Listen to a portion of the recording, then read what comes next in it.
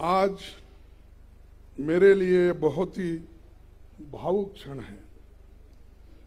आज एक वर्कर, मजदूर का बेटा, एक सामान्य कार्यकर्ता को भारतीय राष्ट्रीय कांग्रेस का अध्यक्ष चुनकर ये सम्मान देने के लिए आप सबका हार्दिक आभार और धन्यवाद देता हूँ।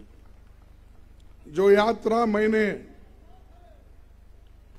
1969 में ब्लॉक कांग्रेस कमेटी के अध्यक्ष के रूप में शुरू की थी, उसे आपने आज इस मुकाम पर मुझे पहुँचाया है।